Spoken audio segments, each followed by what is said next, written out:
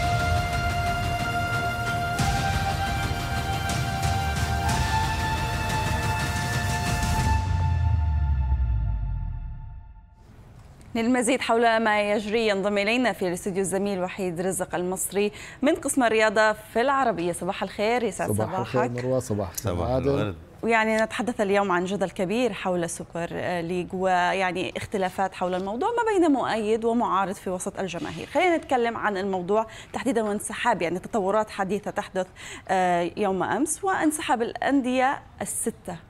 الإنجليزية. آه، في كرة القدم هناك مقولة يعرفها كل عاشق للعبة. هي هل يمكنه أن يفعلها أو يصمد في ملعب فريق ستوك في ليلة باردة؟ هذه توصف للاعب الذي هل يمكنه أن يفعل مثل ميسي أو كريستيانو رونالدو ويصمد وجه الظروف؟ يبدو أن السوبر ليج لم يصمد لمدة ليلتين في ملعب نادي ستوك البارد.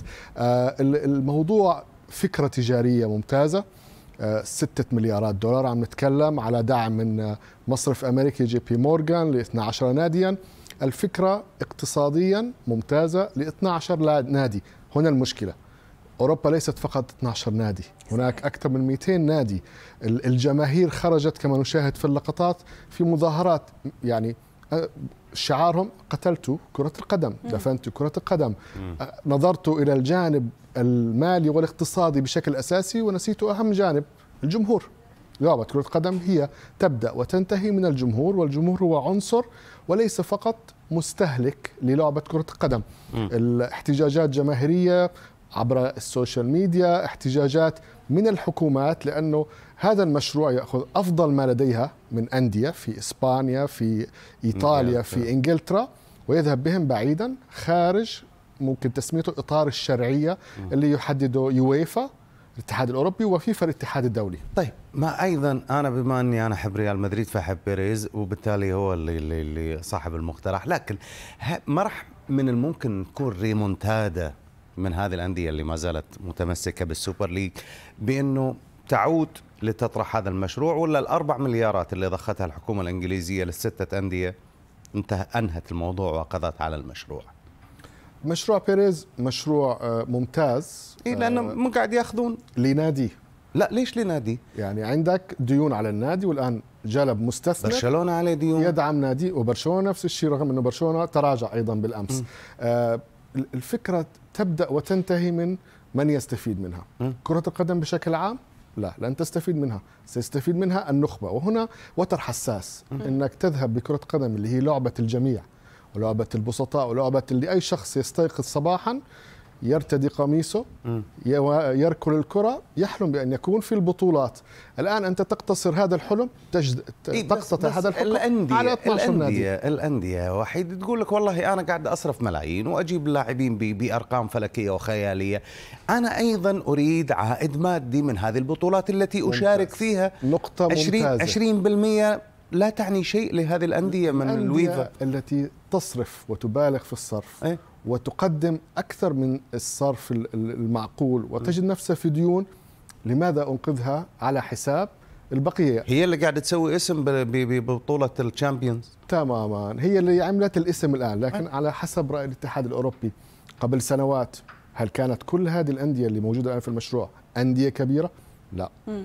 بعد سنوات هل ستبقى هي نفسها الآن انت تضع آه، تجميد وتقول هذه هي الأندية الكبيرة إلى الأبد مشروع مدته 23 سنة م. أنت تحصر يعني تحصر أن هذه الأندية ستبقى هي الكبيرة وتضع خمسة أندية فقط اللي هي تتغير كل سنة في البطولة الجديدة تفضلوا نافسوا باقي الأندية على خمس مقاعد يعني مجلس إدارة في عندك 20 مقعد وفي 15 منهم ثابتين لأصحاب رؤوس الأموال إيه. وخمسة أنتم أيها الشعب البسيط انتخبوهم. وين حولت طيب وحيد خليني أفهم منك يعني تم إيقاف المشروع بالكامل أم سيكون هناك آه، محاولات فيما بعد؟ وبالنسبة للأطراف المؤيدة يعني زي ما قال عاد ريال مدريد هم كانوا أهم الأطراف المساهمة في هذا الموضوع. هل سيكون هناك عقوبات؟ هل سيكون هناك يعني بعض آه، التذمر نعم عدم المشاركة في المونديال هدد مثلا. هدد بالمونديال الآن الموضوع يعني آه، كمشروع انتهى بشكل السوبر ليج. يعني المشروع اللي تم إعلانه قبل يومين تم دفنه بشكل تام.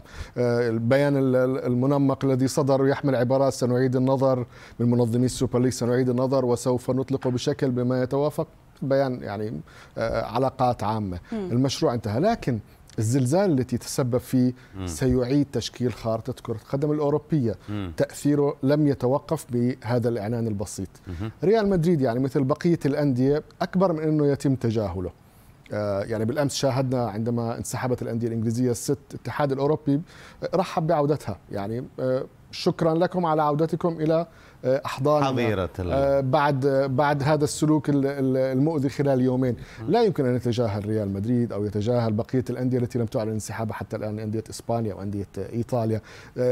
ستعود إليه. لكن في هناك شيء انكسر كعلاقات بين أندية آه، كأشخاص كانوا أعضاء في المكتب التنفيذي للاتحاد الأوروبي وذهبوا ليتمردوا عليه آه، إد وودورد النائب الرئيس التنفيذي لمانشستر يونايتد الذي كان عضو في المكتب التنفيذي واستقالوا والآن اعلن استقالته من مانشستر يونايتد في نهاية العام. أنيلي اللي هو رئيس نادي يوفنتوس كان عضو آه، فاعل في في الكرة الأوروبية مع اليويفا. وعلى رأي رئيس الاتحاد طيب. الأوروبي طعنه في الظهر وقتنا خلص. لكن هل هذه الخطوة ستجعل الاتحاد الأوروبي ينظر إلى حقوق البث المباريات والمخصصات المالية التي تعطى للأندية هذه الكبيرة يعيد النظر فيها ولا هي تبقى كما الاتحاد الأوروبي أعاد النظر في شكل بطولته يعني. آه آه ثاني يوم بعد آه إعلان السوبر ليج أعلن شكل جديد لبطولة دوري الأبطال. 36 نادي بدل من 32 آه عدد المباريات طريقة المجموعات ستختلف. لا يوجد ثماني مجموعات. مم. يوجد مجموعة واحدة الكل يلعب فيها 10 مباريات. يعني بدأ في التعديلات. لكن العوائد المادية هي إيه، الأهم. هذه. العوائد المادية ستزيد لأنه عدد المباريات سيزيد. لكن تدريجيا الفارق إنه الاتحاد الأوروبي وضع وجبة على على الغاز آه، بشكل بطيء. حلو. ريال مدريد وضعها في الميكروويف. آه. وصدم الدنيا. حرق الطبخ. كب العشاء. شكرا جزيلا لوحيد رزق المصري من قسم الرياضة في آه، العربية. زميلنا وحيد يعطيك ألف عافية.